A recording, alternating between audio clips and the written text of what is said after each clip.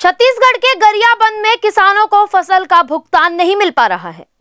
आपको बता दें कि किसान अपनी फ़सल के भुगतान की राशि लेने के लिए कई दिनों से बैंक के चक्कर लगाकर परेशान हो चुके हैं। बैंक में जाने के बाद बैंक कर्मचारियों द्वारा राशि नहीं होना कहा जाता है, जिससे किसानों में रोष पनपता जा रहा है।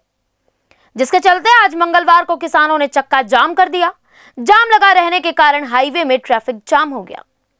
जिस पर सिटी कोतवाली की थानेदार ने तत्काल उच्च अधिकारियों को सूचना देकर अतिरिक्त बल बुलाया।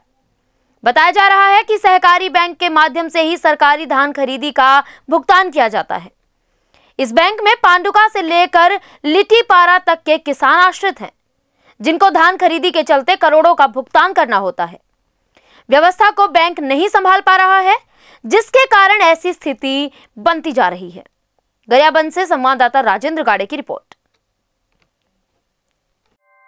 ऐसे ही लेटेस्ट खबरें पाने के लिए बेल आइकन को क्लिक कर हमारे चैनल को लाइक शेयर एंड सब्सक्राइब करें धन्यवाद JBD Banquets लाए हैं incredible marriage palace Rajgharana and the finest banquet hall Jyoti Garden. World class catering, centrally air conditioned, lush green lawns, state of the art lighting. A perfect venue for wedding, launching and parties. Rajgharana and Jyoti Garden at JBD Banquets Enterprise.